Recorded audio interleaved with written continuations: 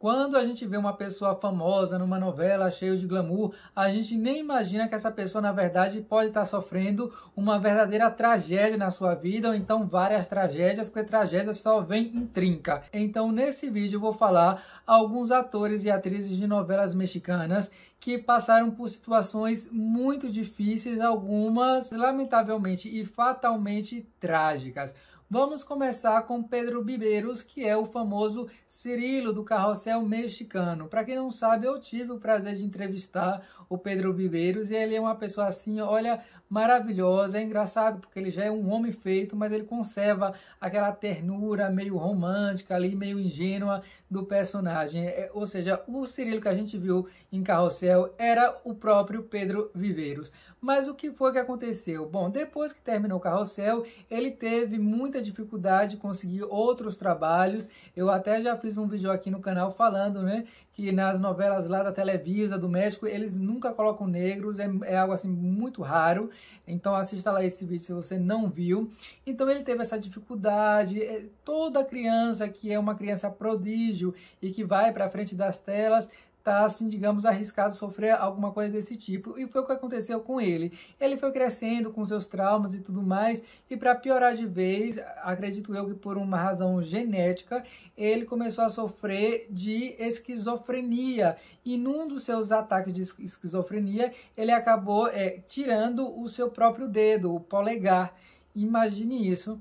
Então, mas agora ele já está medicado, ele conseguiu se recuperar, fez terapia e tal, é porque ele não estava recebendo é, os remédios necessários, não estava tomando, e agora ele toca a sua vida, atualmente pelo menos da última vez que eu conversei com ele na entrevista, ele estava trabalhando tipo numa é, é, cinemateca assim do estado, então não conseguiu se manter nas novelas, mas felizmente ele deu a volta por cima e está é, encaminhando aí a sua vida. Já um outro ator que infelizmente não teve a mesma sorte de dar a volta por cima foi o Jaime Garça. Para quem não está ligando o nome da pessoa, ele fez lá o comandante, o comandante Meirinho, acho que era Meirinho que se chamava, o policial da novela A Usurpadora. Ele também fez Gotinha de Amor, Carinha de Anjo, Salomé. Lembro muito dele em Salomé. Ele fazia o Hipólito, que ele tinha dois filhos, e ele dava esses dois filhos para Salomé cuidar. E depois ficava aquele mistério: quem é o verdadeiro filho de Salomé com Júlio? Fez Destilando Amor, Amanhã é para Sempre,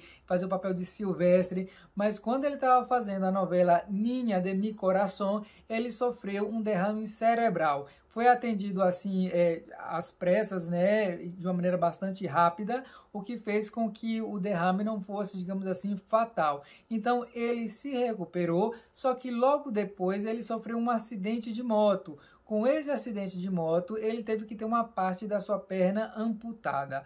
O problema é que depois de um tempo ele descobriu-se diabético e aí, com a diabetes, ele teve que tirar realmente dessa vez toda a perna. Isso fez com que os produtores parassem de chamá-lo para fazer filmes, novelas e tal. Ele deu entrevista é, falando que gostaria muito de ser chamado para fazer e que realmente não é porque você ficou sem a perna que seu talento cênico foi embora, nada disso. O último filme do Jaime Garça foi um filme chamado La Claridade, em que ele fazia uma pessoa com deficiência física. Até pareceu que ele ia realmente retomar a sua carreira é, na intensidade que tinha antes, mas não. Sua última novela foi El Bem Amado, ou seja, um remake do Brasil lá no México. Inclusive, já fiz um vídeo aqui falando de novelas do Brasil que foram adaptadas né, em outros países. E El Bem Amado, O Bem Amado foi uma dessas novelas. Os problemas de saúde foram se agravando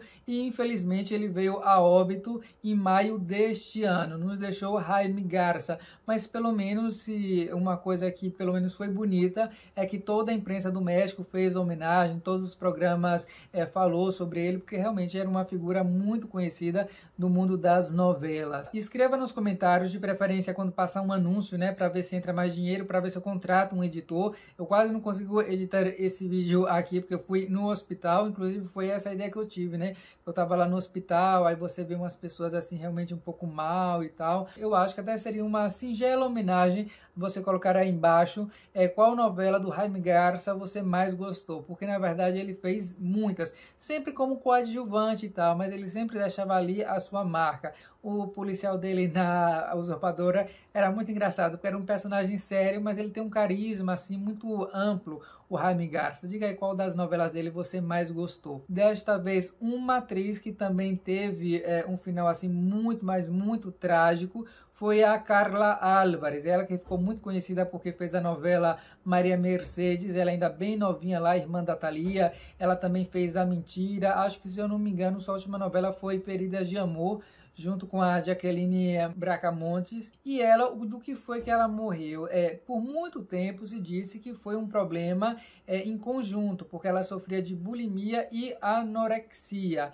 Só que faz muito pouco tempo falaram que não, que na verdade ela tinha comido ali uma comida mexicana, uma coisa parecida com tacos, esqueci o nome, e ela acabou se engasgando e ela teria morrido de um engasgo. A morte da Carla Álvares foi assim, até hoje é uma coisa um pouco é, que não se sabe muito bem ao certo. Talvez um dia eu faça aqui um vídeo sobre ela, embora eu acho que o Tiago do Almanac Latino já fez um, um vídeo falando um pouco lá sobre ela. Bom, mas qualquer dia também eu faço um aqui. E a tragédia dela é que ela nos deixou com somente 42 anos de idade é realmente assim uma grande pena. De toda maneira, se inscreva no canal, porque se eu vir a fazer um vídeo sobre a Carla Álvares, aí você não perde, clica aí no sininho e tal, que é para YouTube te notificar. Vou falar agora da Alison Loss, e essa atriz marcou a infância e a juventude assim, né, é, de a pré-adolescência de muita gente, porque ela fez a novela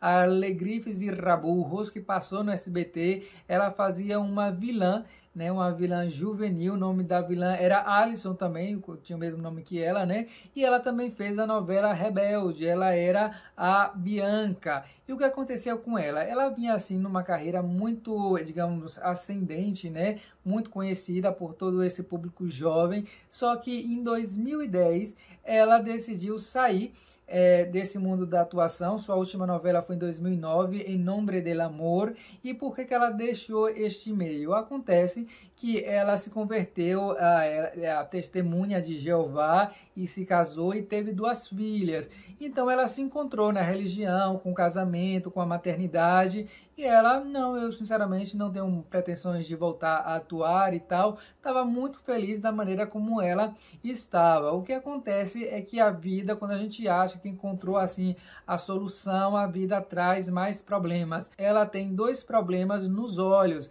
Ela já foi diagnosticada com essas duas doenças aos 18 anos e quando ela foi diagnosticada, falaram para ela: "Olha, você talvez perca a sua visão quando você completar 30 anos. Imagine, hoje ela tem 29. Então ela estava comentando um dia desses, né, falando qual era o problema dela. Os olhos dela parece que são assim muito compridos e que por isso a luz entra de uma maneira errada. E ela tem duas como se fossem pequenas montanhas assim é, na pupila e isso faz com que ela não veja muito bem e a sua visão vai se deteriorando. Ela diz que está fazendo tratamentos, vamos ver o que, o que acontece. É, é, a história dela assim me lembra muito aquele filme Dançando no Escuro. Você já viu esse filme? Se você não viu, não veja, porque olha, esse filme me, de, me deixou numa bad. É tão triste, mas tão triste. Eu sou muito difícil de chorar, viu? Olha, eu sou muito insensível. Aí o povo vai dizer, é porque tu é de virgem. Bom, não sei, mas é porque realmente esse... Eh, não sei, eu sou mais racional. Mas esse filme é assim... Não sei se ela já assistiu, eu espero até que não, porque se ela assistiu, a história dela é um, é um pouco parecida com a da personagem. Vamos ver, né? Eu, eu tô aqui na torcida para que realmente ela não chegue a esse ponto. Vamos torcer que não. Bom, e para terminar, vou falar de um ator que talvez você não ligue o nome à pessoa assim automaticamente, mas ele já apareceu em muitas novelas no Brasil. Eu estou falando do Tônio Mauri. Ele fez O Privilégio de Amar, fazer lá um personagem chamado Alonso del Angel, ele fez também Abraça-me Muito Fuerte, em que ele fazia um padre, acho que era Padre Moisés. Fez também a outra, aquela novela com a Yadira Carijo, que inclusive tem vídeo da Yadira aqui também no canal, assista.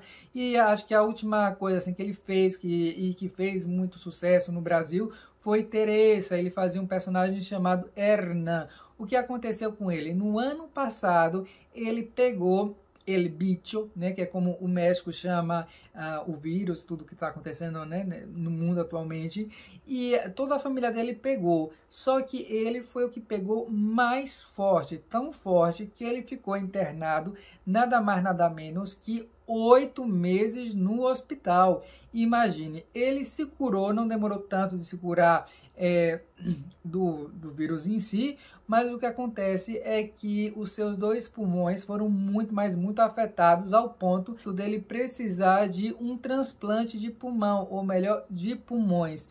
Ele precisava de dois pulmões novos. Com todo esse quadro, realmente acho que até a família estava assim meio que sem esperança. Mas para terminar esse vídeo uma, numa nota positiva, felizmente ele saiu e foi assim super emocionante é, a saída dele do, do hospital com as pessoas batendo palmas. Então eu vou terminar o vídeo aqui com é, esse vídeo e esses aplausos muito merecidos, porque oito meses é realmente assim, ele praticamente nasceu de novo. E aí fica aquela esperança, né? Você está passando por um problema muito grave na sua vida, como eu falei, desgraça só vem trinca. Foi o que aconteceu, por, é, é, por exemplo, com o Jaime Garça. Eu morro de medo dessas coisas, porque um dia eu posso estar super bem, no outro pode vir assim uma sucessão de coisas ruins, igual um dominó.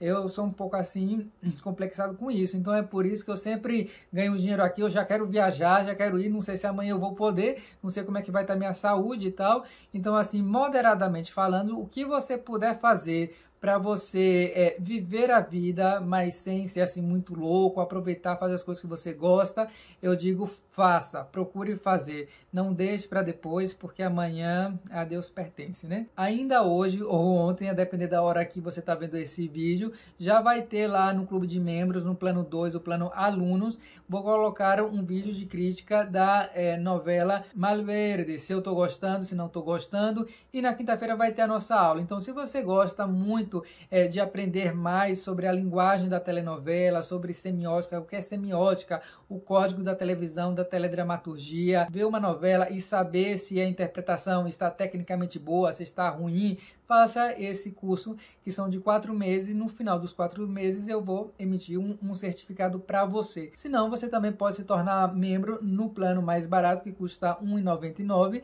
É uma vez por semana eu vou colocar um vídeo de viagem que eu vou contar coisas que aconteceram comigo em viagens que parecem assim coisas de novela. Então, faça isso aí, é, se torne membro, que já é uma grande ajuda, tá bom? Obrigado por acompanhar o canal e até o vídeo que vem. Pero sobre todas las cosas, nunca te olvides de Dios.